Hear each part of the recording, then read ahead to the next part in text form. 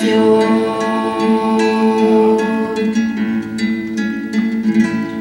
al contemplar la ayuda idónea que va a mi lado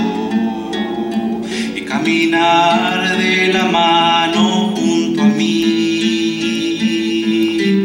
es entonces cuando sé que tú me amas, Señor, porque por ella